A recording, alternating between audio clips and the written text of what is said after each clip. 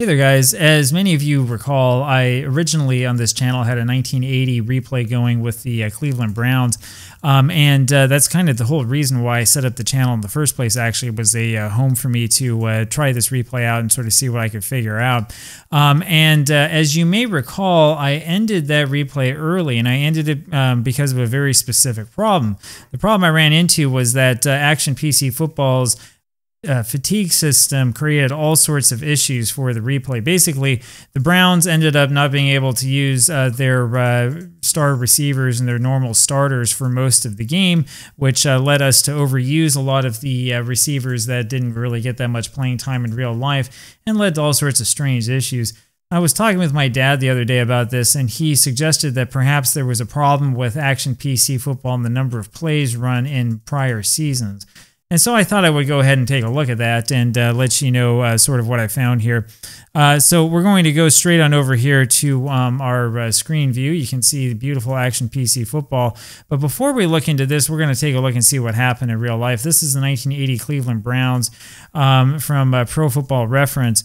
As you can see here, in 16 games played, the uh, Browns had 1,013 plays. Now, plays here are not fully plays, right? We got to define this. Plays are defined as pass attempts plus rush attempts plus time sack. That's what's going on. So we're not looking at punts. We're not looking at field goals. We're not looking at anything like that. We're looking at all other offensive plays, right? So that's what we're looking at when we're looking at this uh, season and at this project. Now, when we take a look here at uh, the number of plays per game the Browns had in real life, it was a little bit over 63. So we'll keep that in mind 63 per game. We'll go over here and we'll go at the uh, report and look at uh, team statistics for the Cleveland Browns. You can see here we had what in 10 games, 300 rushing attempts, 361 passing attempts, and 27 times sacked. Um, and uh, that adds up, if you're uh, keeping score, to 688 um, uh, total offensive plays, or about 68.8 plays per game. And so I thought, hey, maybe something's going on here. Maybe there really is a problem with Action PC football. Maybe there's something that we really should talk about and that we should uh, get deeper into. So um, I wanted to make sure, however, that what I was looking at was not a problem that was, um, you know, uh, not unique to this replay. I wanted to look at this and make sure that if there really was a problem that we were talking about, like a major problem with um, Action PC football, and not something that was maybe caused by a small sample size.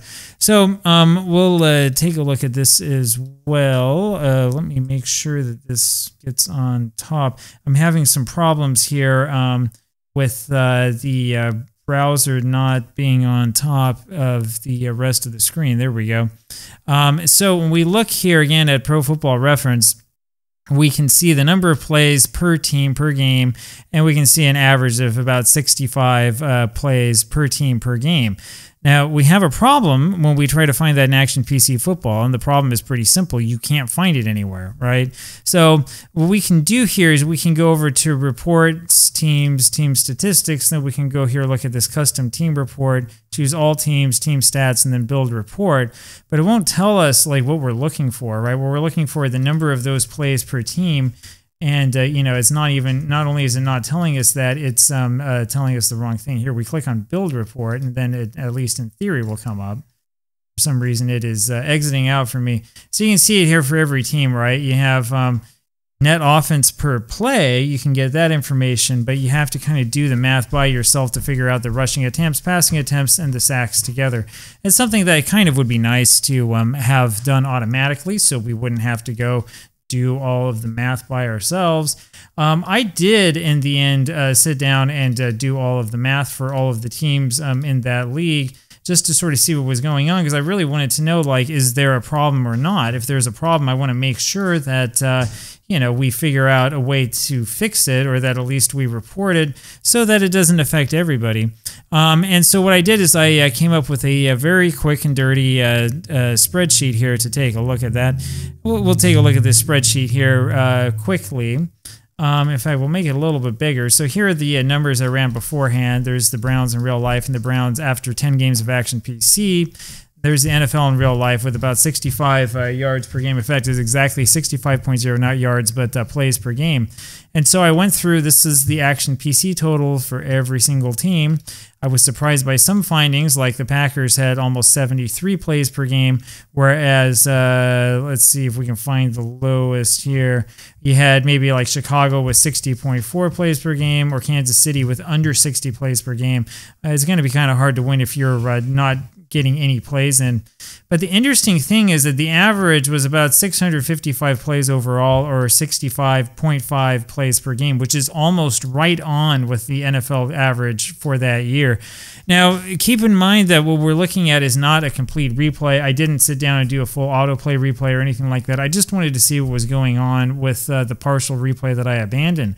Um, it's fascinating to me, though, because Action PC Football's uh, number of plays per game, in other words, its sort of pace of play and pace of game, is spot on. I mean, that is not only exactly right, but that's the sort of thing that's like so right that I, am not certain that there are other football uh, engines and replay uh, games out there that can accomplish this and that can make that sort of thing happen. I think it's pretty impressive. I would be very interested to know if you've noticed anything like this with any other seasons, if there's um, any past season that you've played with in which you've noticed a problem or you've noticed something that uh, didn't quite work right. Um, especially when it comes to that pace of play and the number of plays per game. Um, so anyway, my uh, faith in the game has been um, somewhat, uh, uh, uh I guess, uh, reconstructed. Um, I'm still looking though for the uh, right solution to the fatigue problem, which is one of the major problems. I think. I mean you want to be able to play with the star players on your team and you want uh, the game to help at least help you manage fatigue the right way in other words if somebody's getting tired because i'm overusing him i need to see him tired and not have him then for the next game be so tired he can't play a single play that's the sort of thing we were running into as always, I'm open to any sort of suggestions or recommendations you may have. Um, let me know uh, what you think down below. And uh, there we have it. I'll talk with you again next week. Bye bye.